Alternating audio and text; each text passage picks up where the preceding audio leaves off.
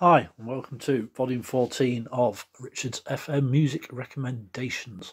This week is part two of the one I started last week, which is a review of releases from this year to this point in time, four months or so through the year. And there's already been some absolute cracking songs out and some brilliant albums, and the year just keeps getting better and better with new albums come from all sorts of people that we're looking forward to. So we've got 12 tracks this week of stuff that's already come out, obviously, because otherwise I wouldn't be able to do it. So that's what we're doing. All these songs will be, as usual, in their own playlist on Spotify, which I'll put the link to in the description, and also in the big Richards FM full-on playlist as well for your listening pleasure. So that being said, if you like the channel, please subscribe, give me a like, drop me a comment, follow the playlist on Spotify, either of them or both if you're feeling plush. Um, and yeah, that'll be cool. Right, so let's get on with this week's new tracks from Volume 14. Uh, first off is a band I think I had in a week or two ago called The Joy Formidable, Welsh indie rock band. Brilliant, brilliant songs on the on the sixth album now, from following on from uh, 2018's Arth, which is Welsh for, Welsh for bear, I think, or something similar. It's a Welsh title anyway. They've got a new single out called Back to Nothing following the, the release of the title track as a single, Into the Blue. Um, and Back to Nothing is as good as they get. Joy Formidable is just fantastic. And Back to Nothing is just fantastic, even.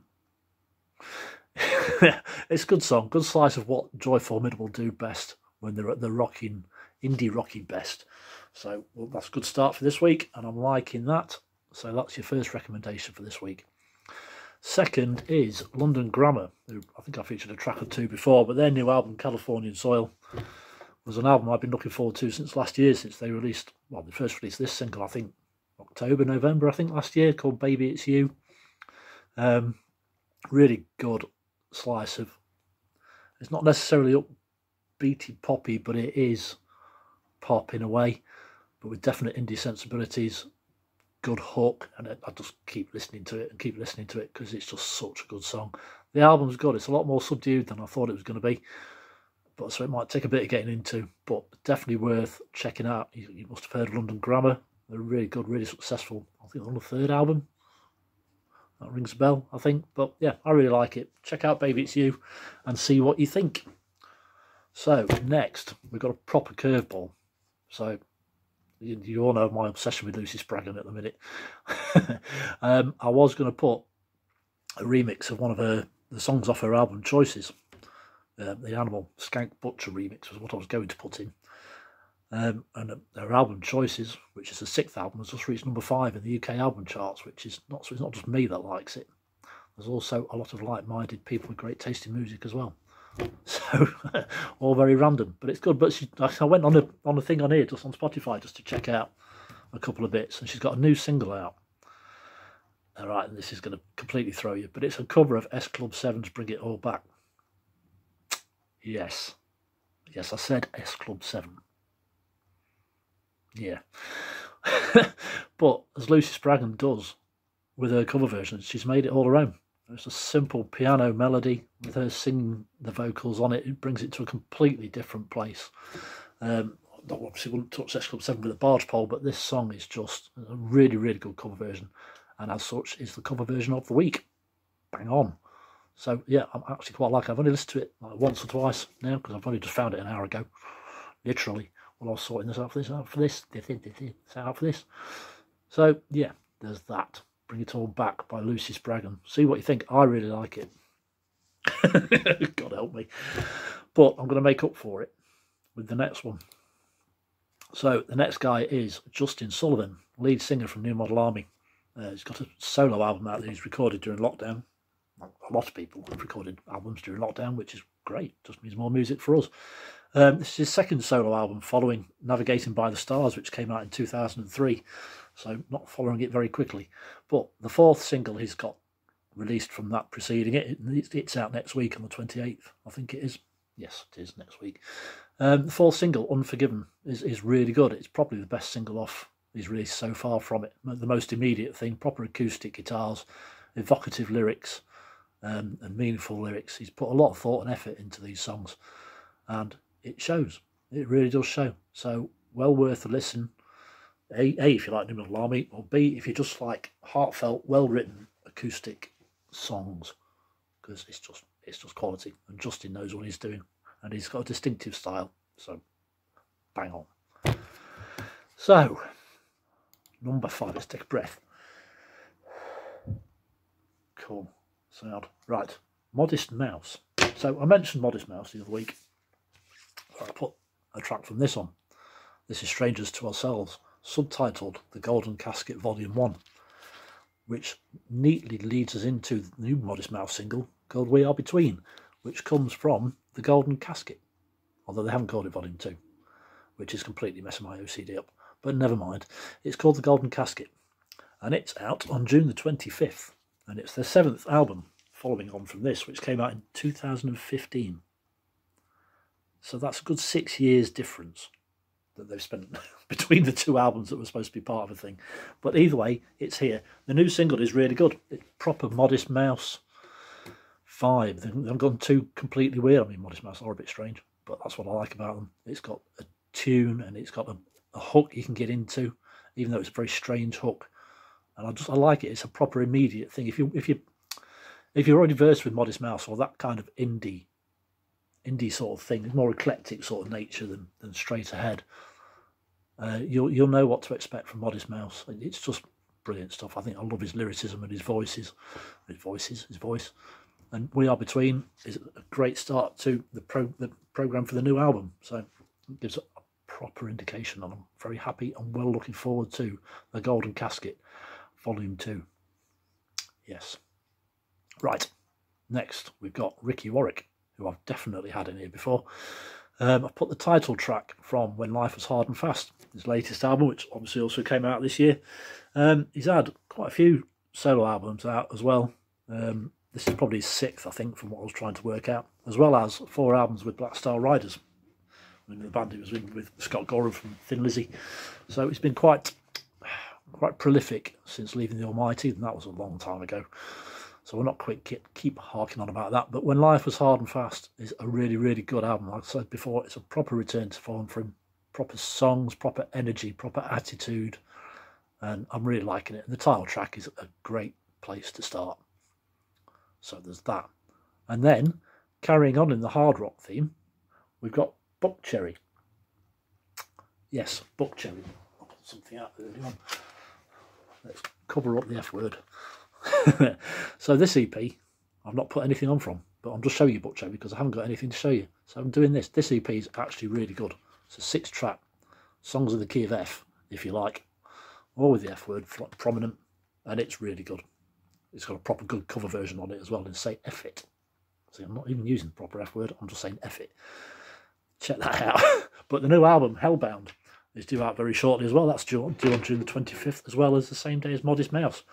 Oh, what an eclectic day that is going to be. It sounds really good. I put the new single in, So Hot, the last single. So Hot in, I put in the other week. And that was, I think, Classic Classic Rock's track of the week or something. The new song is the title track from Hellbound. Hellbound, obviously. And it's really good. It's got probably some of the best thing they've done since since that, basically. It's it's just a good, solid rock song. Proper AC/DC vibes, proper Buckcherry on their own vibes and I'm, I'm, loving it. I'm loving it. Well looking forward to that album as well. Do like a bit of Buckcherry. I'm sure they're not the last of the, the decent hard rock bands knocking about, but they are certainly one of the best. And they've been around a while. I mean, this must be, oh, it is the ninth album, disregarding songs in the key of F. Um, yeah, I'm just well looking forward to that. And so moving on from that one, check that out because that's Bob on if you like a bit of hard rock. We got the next in a little hard rock trilogy I've got going on again. But this one is more of a rock ballad. So, Thunder, all the right noises. One of my favourite albums of the year so far. Really, really good return to form for Thunder. Proper songs, proper immediate stuff to get your head around. You don't have to think too hard about it. It's just a good, feel good rock album. I'll Be the One has just been released as a new single from it this year. The video on YouTube and everything. And it's a proper full on rock ballad like they used to make them. When I, hey, when I were a lad. Yeah, that one. It's proper good. So, proper good. Speak English. It's very good indeed. So, yes, check that one out. All the right noises. I'll be the one. Thunder. And that's the last of your rocky sort of stuff this week. You'll be glad to hear. Next, we're going with Smith and Burrows. So I put a track from their their new album, Only Smith and Burrows is Good Enough, in a few weeks back, which you'll you'll find in the playlists. Um, they've got a new single out in the last sort of couple of weeks called Buccaneer Rum Jum, and it's a pieces of eight mix. So people have a habit of remixing singles, especially with Spotify at the minute. Seems to be an awful lot of that about. I'm discovering, but it's actually good. I'm liking it. It gives it a good little poppy, lively vibe. Not that it wasn't a, a dull song anyway, but it, it just gives it a proper bit of oomph. Um, and I really like the album as well. Only Smith and Burrows is good enough. Is actually pretty pretty good. Um, well worth checking out if you just want something a bit different. It's not you know it's quite it's not mainstream, but it's probably a lot lighter than stuff I've normally normally put into these playlists. But that's that's no bad thing. It's good. And I was actually checking out their first album. I was, I was checking out for this. They've got a couple of decent cover versions. They've got a cover of Louis Armstrong's "What a Wonderful World." No, they haven't. That's a lie. Of Black's Wonderful Life. Mm. But it's a proper, proper good cover. Check that out because you know I'm into my cover versions. I've got a covers playlist if you fancy that as well. I'm called Alternative Covers. That's really good. Just because it is. it's fun of random stuff. But yeah, check out a bit Smith and Burrows. I like it. It's Tom Smith from Editors and Andy Burrows from, well, ostensibly from Razorlight, amongst other people. Well worth a check out.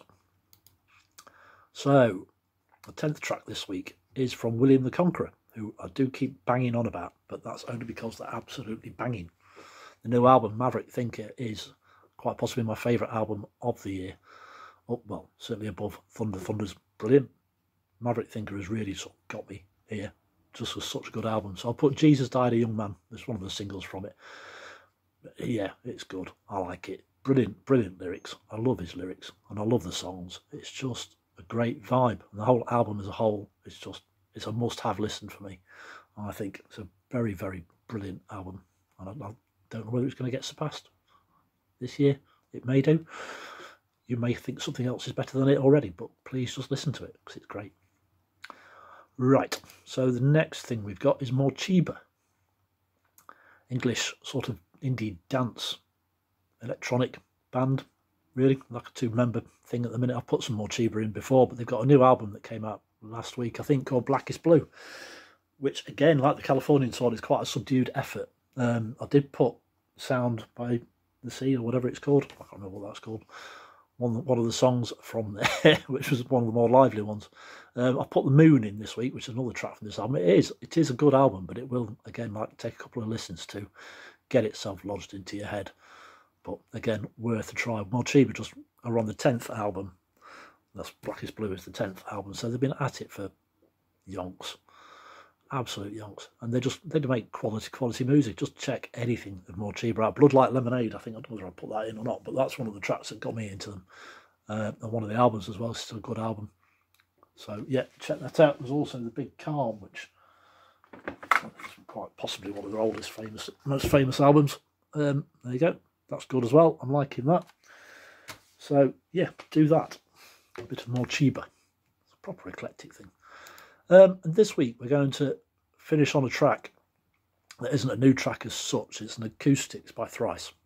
So American hard rock, post rock sort of thing, post punky, whatever you want to call them. They're just Thrice. They just make good music. I like it.